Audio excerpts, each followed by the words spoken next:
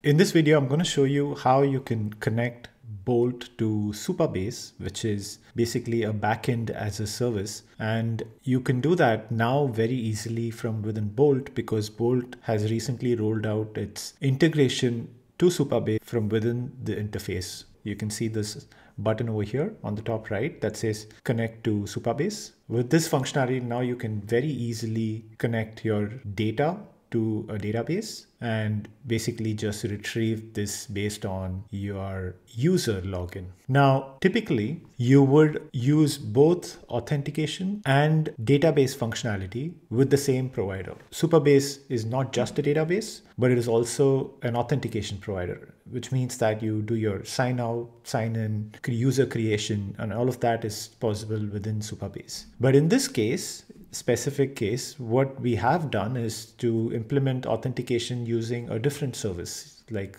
the service we used is called Clerk. So you can still implement your database with uh, Supabase and keep your authentication in Clerk or remove your clerk authentication and combine them all in Supabase. So I'm going to go into my application that I just connected. So as you see on the top right, there was a connect to Supabase and now I already connected it. So when you just say connect, it opens Supabase, you just create an account, just follow the instructions and you just have to approve all permissions. And when you do that, the connection will just automatically happen for you. And let's just wait for the application to load. So here I am in my application. And if I log in, again, it logs in through this provider called Clerk that I previously taught how to do. So now when you go say view a project, it opens this dashboard of Supabase. Now there's a lot going on here. I know it's very intimidating with a lot of information, but the main things that you actually need to know is the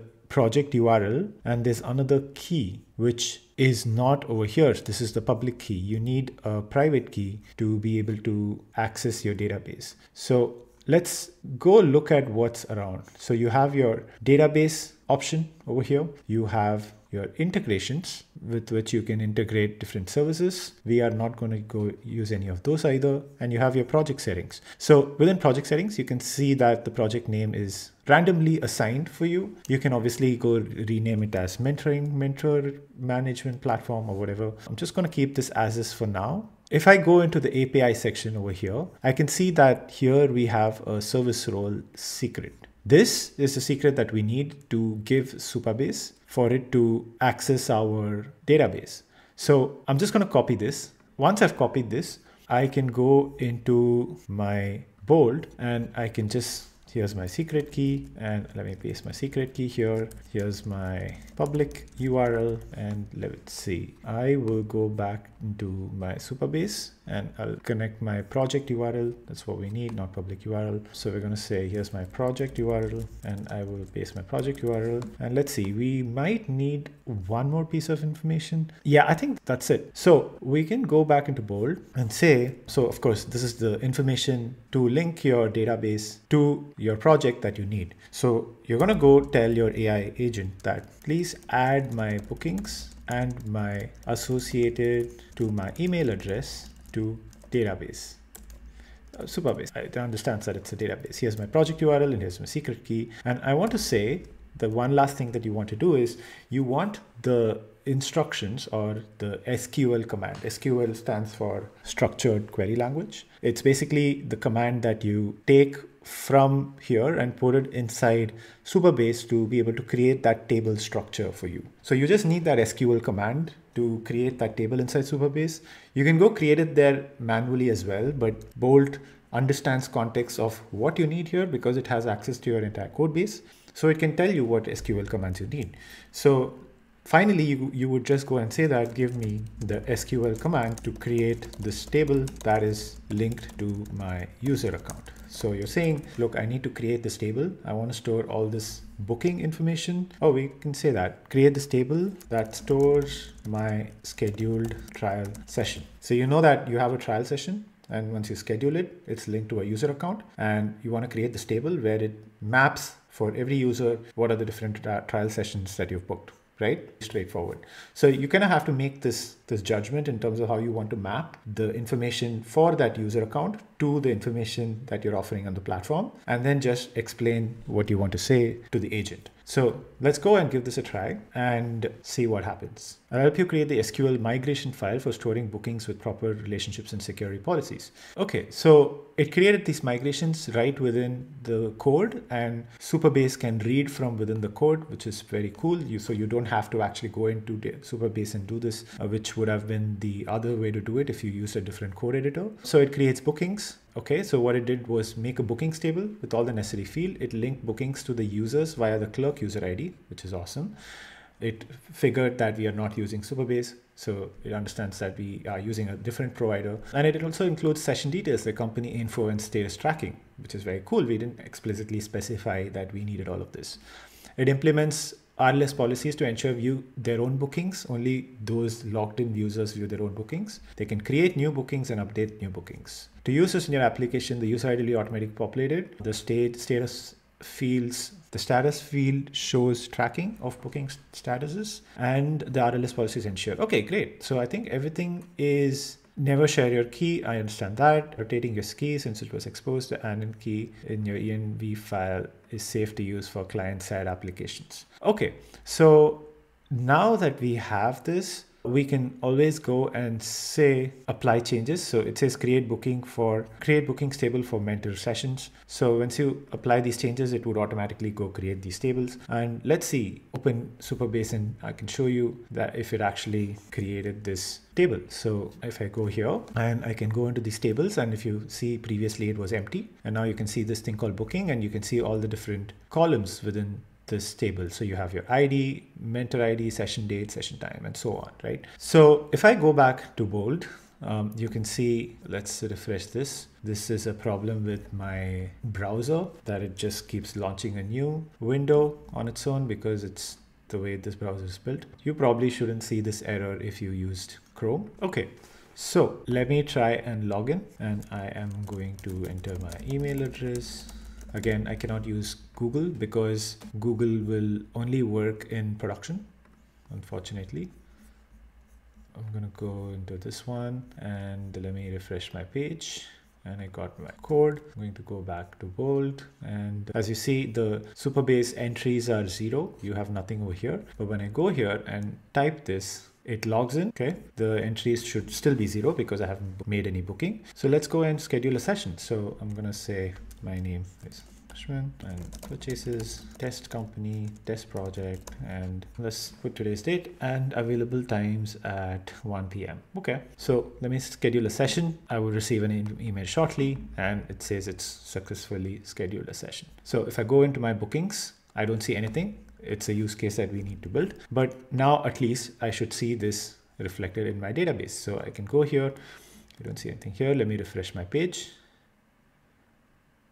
it doesn't create a database. So clearly there is one more step left to be done and we can do this easily right now. So when I schedule a trial session using the model, create an entry in the database to store the current bookings of the logged in user. So it created the database, it set it up in Supabase, but it forgot to add the booking functionality into the table. So I guess you had to say that again. Okay, so now it created the booking model. It already there is a booking model. It just it just updated the function to to go store that information within the database. So that's what happened. Let's see. There might be some error. Okay, failed to resolve from this. This this file exists. Okay, clearly it failed to install that Supabase package. So let's paste that error and just let it figure it out. Okay. I think now it should work without any errors. Okay, great. Let me try and schedule a session again. Again, name test, test, and I will put this 10 a.m. and I'll schedule a session and it does something. That's why probably there's a problem. Error creating booking new row violates row level security policies. So let's try and get AI to fix this because there is a mismatch on some policy that it created on who gets to add a row level entry. So just let it figure this thing out. So it creates these security level policies to prevent hackers from being able to modify your database. So that's just a bit of a, a good to have. And you know, these things also present these kind of inconvenience when you're working with it. But just give it a couple of shots and it will fix the policies for you. Okay, it may have completed. So let's say my ask gmail.com and then test, test 1 p.m. Okay, let's see what the problem is. It understands that it already failed once, so that's a good thing. So it probably will try something different.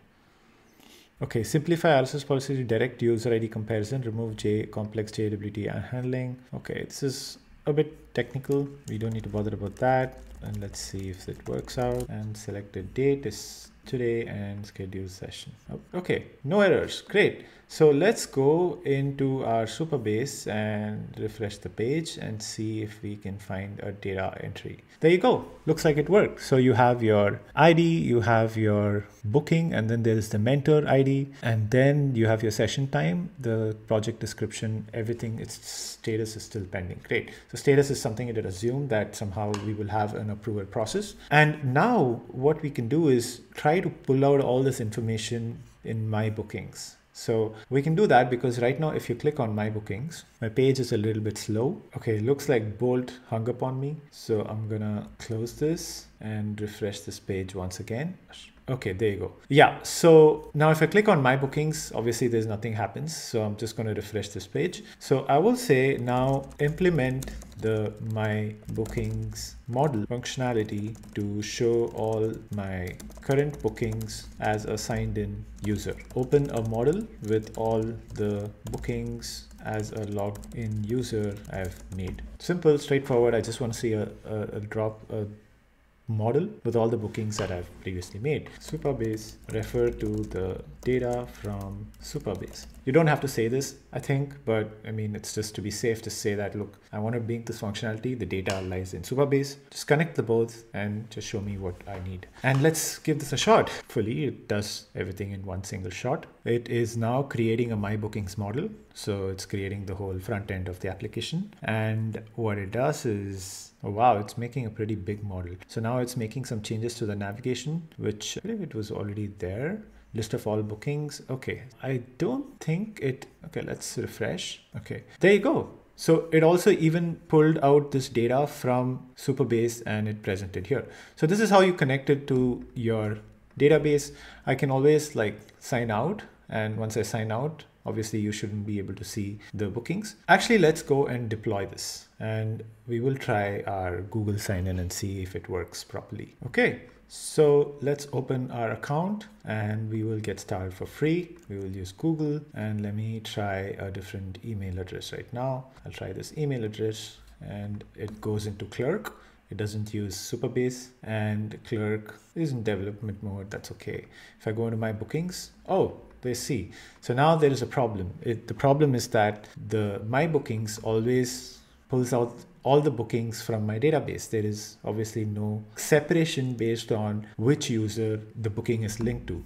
So that's why you need to test. So now we can go back and say that my bookings is not linked to the sign in user. Ensure the user ID of the signed in user matches while retrieving the bookings of the user. So you're saying, look, you're just pulling out all the bookings, right? It's isn't filtering by user ID. Let's fix this. So duh, it should have just figured it out, but clearly it did not.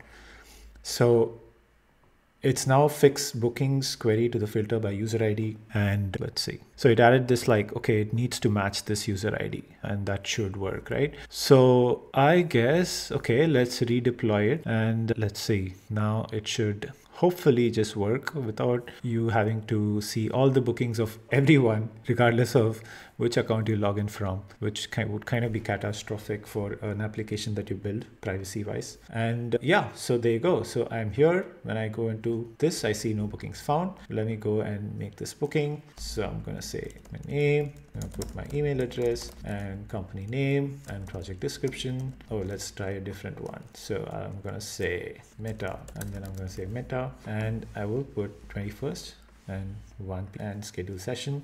It scheduled the session. Let's go into the table. Let's refresh this thing. You should be able to see two entries right now. One is from test, one is from meta. There you see, everything looks fine. And when I go back into Bolt, oh, not this one. When I go back into Bolt and I go say my bookings, oops, let me refresh the page. There you go. It says Meta Meta, and Sarah Chen is, of course, the person that we made the booking with, and it still shows pending. So now everything works fine. So this is how you integrate Supabase with Bolt. It's fairly simple.